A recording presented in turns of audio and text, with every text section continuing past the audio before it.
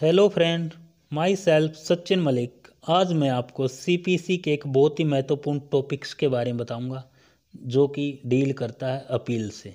कि अपील होती क्या है? आज का वीडियो न्यू कमर एडवोकेट्स के लिए लास्ट स्टूडेंट के लिए जुडिशल एग्ज़ाम की प्रिपरेशन करने वाले स्टूडेंट के लिए बहुत ही इंपॉर्टेंट है।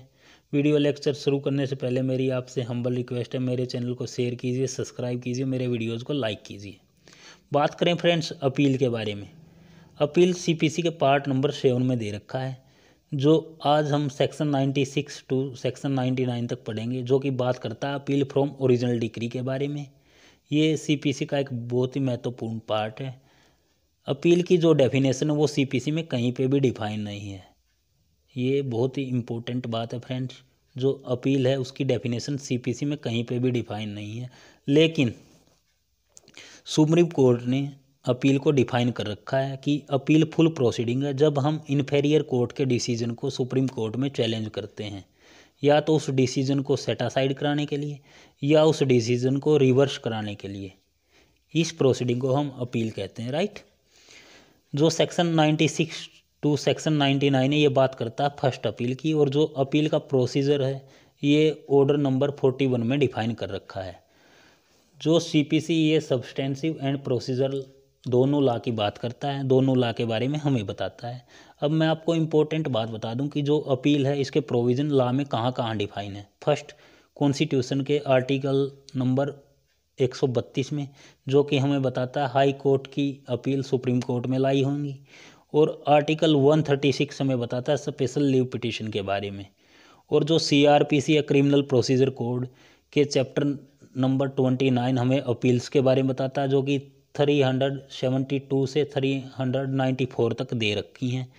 और जो सी पी सी है, ये हमें अपील के बारे में बताता है। Section ninety six to section ninety nine बात करता है फ़र्स्ट अपील की, और सेक्शन हंड्रेड बात करता है सेकंड अपील की। और जो प्रोसीजर है अपील का, वो ऑर्डर फोर्टी वन में दे रखा है। राइट ये चीज़ आपको याद रखनी बहुत ही ज़रूरी है फ्रेंड्स अब बात करें फ्रेंड्स अपील है जो, वो ना नेचुरल राइट है, ना इनहेरेंट राइट है। Appeal is a substantive right natural right वो राइट होते हैं जैसे कि राइट टू लाइफ जो फंडामेंटल राइट है। सब्सटेंटिव राइट वो राइट होते हैं जिन्हें लेजिस्लेटिव बॉडी ने पास करके दिया है राइट उन्हें हम सब्सटेंसिव राइट कहते हैं। अपील सब्सटेंसिव राइट है राइट अब मैं आपको बता दूँ एक बहुत ही इम्पोर्टेंट केस ला, जिसमें अपील को डिफाइन किया था। Narendra Nagendra Kumar De versus Suresh Kumar De. Ninety thirty two का केस है। प्रोविंसी काउंसिल का जजमेंट है। बहुत ही इम्पोर्टेंट है। इसमें ये बोला गया था कि अपील कहीं पे डिफाइन नहीं है। लेकिन जब कोई एग्रीव पार्टी लोअर कोर्ट के डिसीज़न को चैलेंज करती है सुपीरियर कोर्ट में, उस डिसीज़न को सेटासाइड कराने के लिए या रिवर्स कराने के लिए, उसे हम अपील कहते हैं। ये नागेंद्र कुमार दे वर्सेस सुरेश कुमार दे के केस में 1932 में डिफाइन किया गया था। अब बात करें इसेंशियल एलिमेंट ऑफ़ अपील कि, जो अपील है, उसके इसेंशियल एलिमेंट क्या होंगे फ़ाइल करने के? फ़र्स्ट ओरिजिनल ऑर्डर और original decision passed by a lower court of original jurisdiction कि ओरिजिनल ऑर्डर होना चाहिए या ओरिजिनल जुडिक्शन ओरिजिनल डिसीज़न होना चाहिए, जो कि पास किया गया किसके द्वारा? एक कंपिटेंट लोअर कोर्ट के द्वारा ओरिजिनल जुरिडिक्शन में राइट सेकंड डिक्री होनी चाहिए।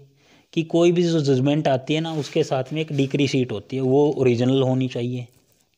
राइट नंबर तीन एग्रीव पार्टी मतलब नेसेसरी पार्टी होनी चाहिए कि जिस पार्टी के अगेंस्ट क्या है? डिसीज़न दिया है इन्फेरियर कोर्ट ने राइट लोअर कोर्ट ने। कि जो एग्रीव पार्टी है, वही तो इन्फेरियर कोर्ट के डिसीज़न को क्या पे? सुपीरियर कोर्ट में चैलेंज करेगी। तो एग्रीव पार्टी का होना बहुत ही ज़रूरी है अपील में राइट अपील का ये बहुत ही इंपॉर्टेंट एसेंशियल एसेंशियल एलिमेंट है।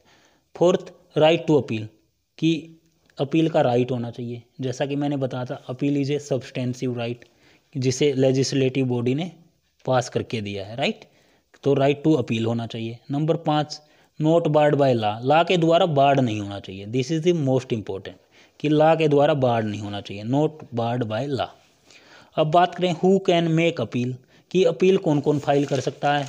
फ़र्स्ट एग्रीव पर्सन, जिसके अगेंस्ट में जजमेंट पास किया गया right second person authorise by aggrieve person कि एग्रीव पर्सन ने अपने भी आप पे क्या कर रखा है? पर्सन अथोराइज अथोराइज कर रखा है, किस चीज़ के लिए? अपील फ़ाइल करने से, करने के लिए।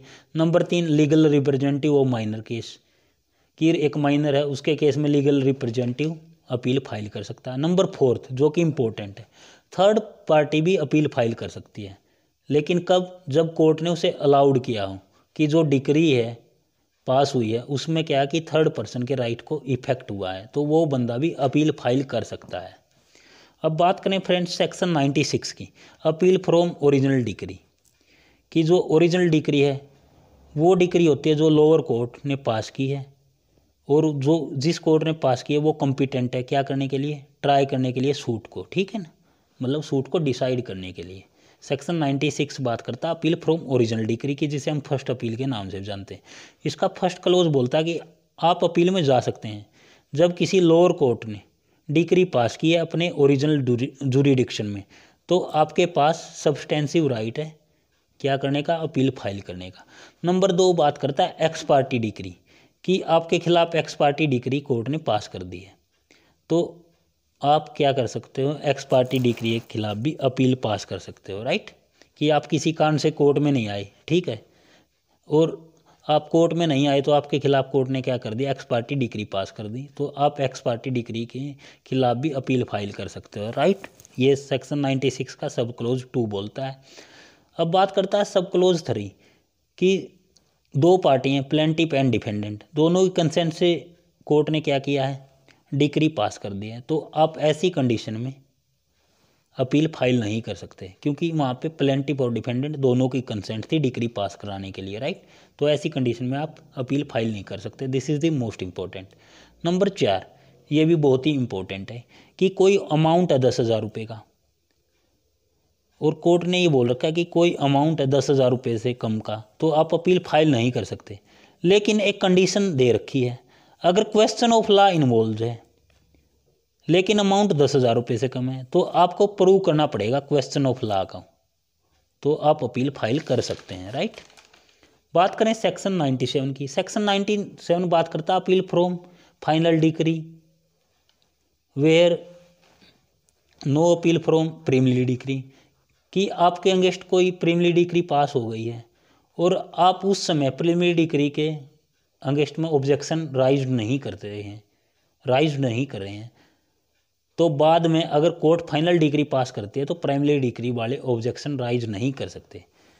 कहने का मतलब ये है कि कोर्ट ने आपके खिलाफ प्राइमरी डिग्री पास कर दी, वहाँ पे आपने ऑब्जेक्शन राइज नहीं किए लेकिन बाद में कोर्ट ने आपके अगेंस्ट फाइनल डिग्री पास कर दी तो आप जो प्राइमरी डिग्री वाले ऑब्जेक्शन हैं, वहाँ पे राइज नहीं कर सकते, क्योंकि सेक्शन 115 एविडेंस एक्ट एस्टोपल की बात करता कि आपने अगर एक चीज़ को एक बार एडमिट कर लिया तो आप उससे मुकर नहीं सकते।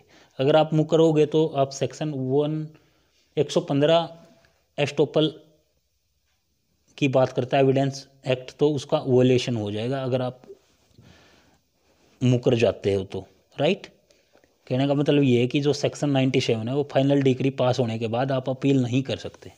ठीक है ना? अब बात करता है section ninety eight decision where appeal heard by two or more जज जब किसी अपील को दो या दो से अधिक जज सुनेंगे तो डिसीज़न मेजोरिटी के बेस पर माना जाएगा। राइट? अगर वो जज डिसीज़न नहीं देते हैं तो डिसीज़न लोअर कोर्ट वाला ही सेम डिसीज़न अपील में माना जाएगा। कहने का मतलब ये है कि दो या दो से ज़्यादा जज किसी अपील को सुनते हैं और अपील को सुनने के बाद अगर वो डिसीज़न देते हैं तो मेजोरिटी में जो डिसीज़न होगा ना उसे माना जाएगा। अगर वो डिसीज़न नहीं देते हैं तो जो लोअर कोर्ट का डिसीज़न था ना उसे ही अपील का डिसीज़न मान लिया जाएगा। ये सेक्शन 98 बत, हमें बताता है। अब बात करें सेक्शन 99 की। No decree to be reversed और मॉडिफाई फॉर एरर और इरेगुलटी नॉट इफेक्टिंग मैरिट्स और जुडिक्शन कि आप किसी डिक्री को रिवर्स या मॉडिफाई नहीं कर सकते इस ग्राउंड पे कि उसमें एरर्स और इरीगुलटी है। जब तक उसे मेरिट्स और जब तक उसके, उस केस के मेरिट्स और जुडिक्शन पे इफ़ेक्ट नहीं पड़ता है राइट कहने का मतलब ये है कि आप किसी डिग्री को ना तो रिवर्स कर सकते, ना मॉडिफाई कर सकते इस बेस पे कि उसमें एरर और इरेगुलटी है। कब तक? जब तक उस केस के मेरिट्स और जुडिक्शन पे इफ़ेक्ट नहीं पड़ता है राइट ये था आज हमारा अपील का चैप्टर, जो कि सेक्शन 96 से सेक्शन 99 तक डील करता था। उम्मीद करूँगा फ्रेंड्स, आपको लेक्चर अच्छे समझ में आया होगा। अगर मेरे लेक्चर से आपको कोई क्वेरीज है तो आप कमेंट्स कर सकते हैं। और मेरी आपसे हम्बल रिक्वेस्ट है कि आप मेरे चैनल को शेयर कीजिए सब्सक्राइब कीजिए, और मेरे वीडियोज़ को ज़्यादा से ज़्यादा लाइक कीजिए। Thank you so much